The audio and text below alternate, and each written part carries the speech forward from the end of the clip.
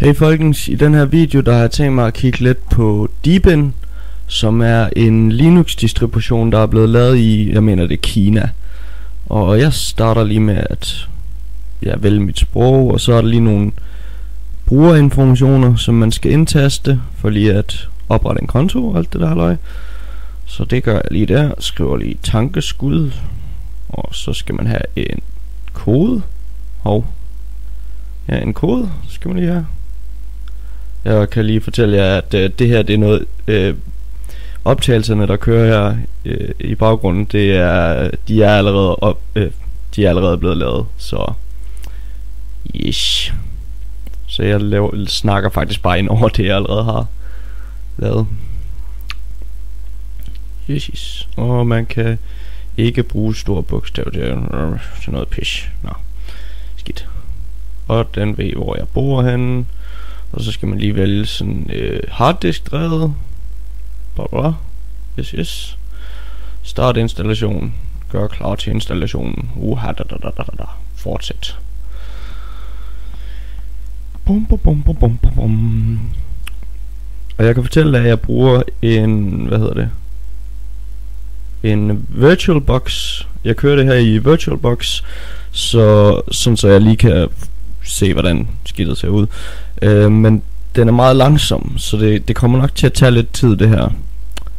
Det tager sin tid, det tager sin tid. Men øh, ja, det kan være, at jeg klipper lidt i det. Det kan være, at jeg klipper lidt i det, eller noget i den stil. Men øhm,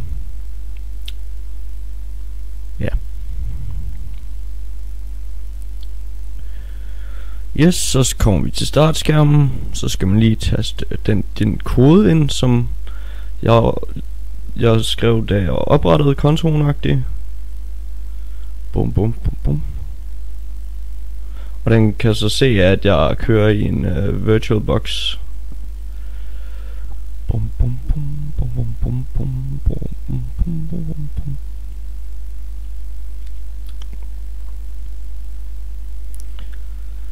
Og så se. Og det her, det er så hvordan det ser ud, når man er inde. Og personligt så synes jeg sgu, det ser rigtig godt ud. Det ligner lidt Mac med sådan en værktøjslinje i bunden. Jeg synes personligt meget godt om det i hvert fald. Det ser lækkert ud efter min mening. Øh, der kan måske være nogle af jer, der er uenige i det, men uh, ja. Og man kan se dato og tidspunkt og hele skidtet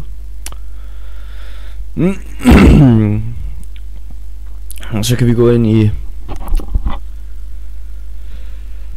Og lige nu der åbnede jeg App Store. Eller de har sådan en App Store. Deep Store tror jeg den hedder. Hvor at se man kan... Der er alle mulige apps. Der er LibreOffice, der er VLC, der er Opera, som er en øhm, browser. Og jeg er faktisk imponeret over, hvor mange ting der er i, i den her øh, i den her store, App Store. Fordi de har både Spotify, kan vi se, og en masse andre øh, musikprogrammer og lydprogrammer og lignende.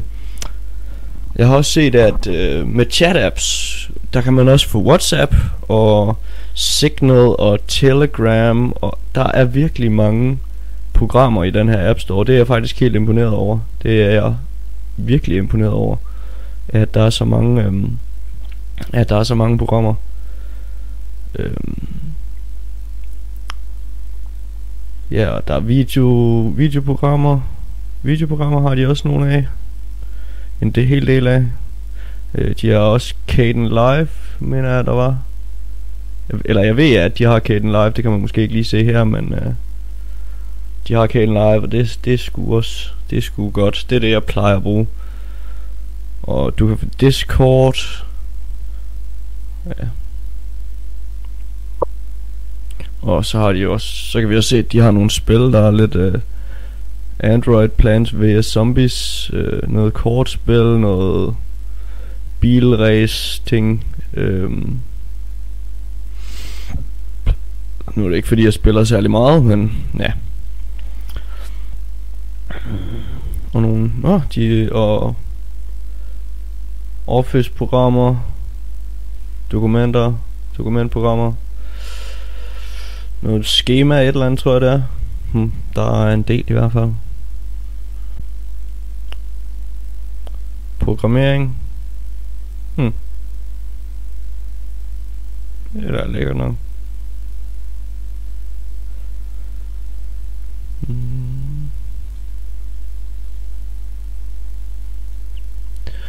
Man kan også få Steam. Steam. Mm. Ja. Lækkert. Og Skype. Steam og Skype, det ser ud til at være... Steam, Skype og...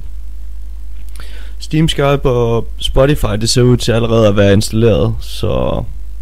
Det behøver man ikke hente ned. Det er da meget... Det er faktisk læ rimelig lækkert. Øhm, og ja. Og her kan vi se nogle flere af de forskellige chat-apps, som man kan downloade. Discord kan man for eksempel også få. Mhm. Service. Personligt, der synes jeg, at Deepin, det, det ser faktisk rigtig godt ud. Det ser rigtig lækkert ud. Det ser... Altså, brugerfladen, den ser god ud, og... Der er rigtig mange apps, det er også lækkert at vide. Øh, ikonerne, de ser også øh, rigtig lækre ud. Jeg kunne, jeg kunne godt overveje at øh, skifte over til Deepin, hvis, hvis det var. Øhm, øh, men ja, folkens, hvad synes I om Deepin? Øh, ser det godt ud? Er det et øh, styresystem, I måske kunne overveje at skifte over til? Lad mig høre jeres mening ned i kommentarsektionen.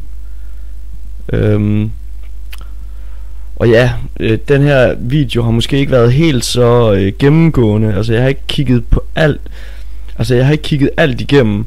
Men øh, hvis I er interesseret i at finde ud af lidt mere om den her, det her styresystem, så vil jeg foreslå, at I tjekker en engelsk YouTuber ud, der hedder Matt Harley. Ja, jeg mener det det, han hedder. Jeg mener det det, han hedder. Øhm, han laver nemlig et lidt mere dybdegående øh, ligesom review af det her styresystem. Så tjek ham ud. Øh, der kommer et link, en annotering her et sted. Og ja. Men ja, folkens, det var alt herfra. Ses.